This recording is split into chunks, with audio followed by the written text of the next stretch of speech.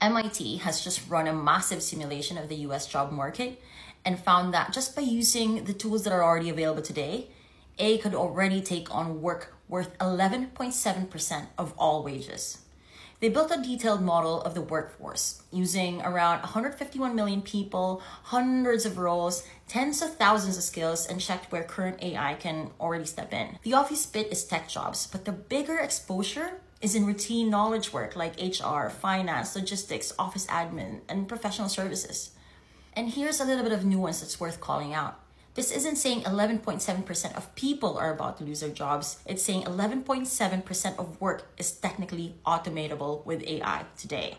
So whether that turns into job losses or job redesign depends on how organizations respond and how quickly people retrain.